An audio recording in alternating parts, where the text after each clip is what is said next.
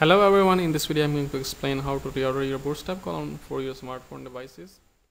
We have a website that contains a list of books have an issue on smartphone device. On smartphone the first book cover needs to be on the top of this book caption. For this I'm going to create a basic HTML template using bootstrap 3. I have already created one uh, with fixing a height and assigning some colors with some paragraph text. This is how it look like. Let's check this on smartphone. So here green box move below the red box. So in this case we what we want is that the green box should be above this red box.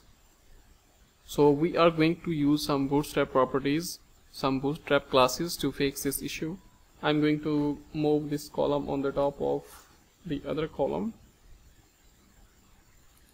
so we can say that the green box is moved above the red box. So let's check now how it look like. Okay for the mobile interface it is fine but for computer it goes opposite.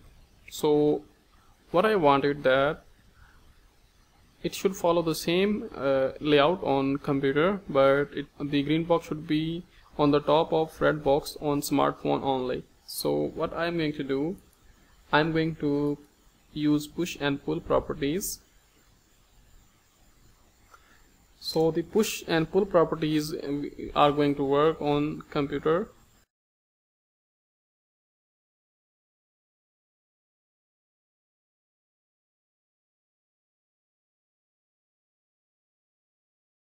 Okay here we fix the issue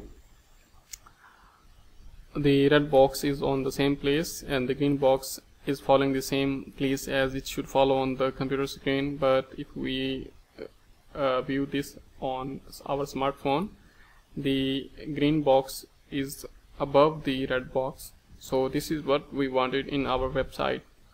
Thanks for watching. If you like my video please like subscribe my channel and press the bell icon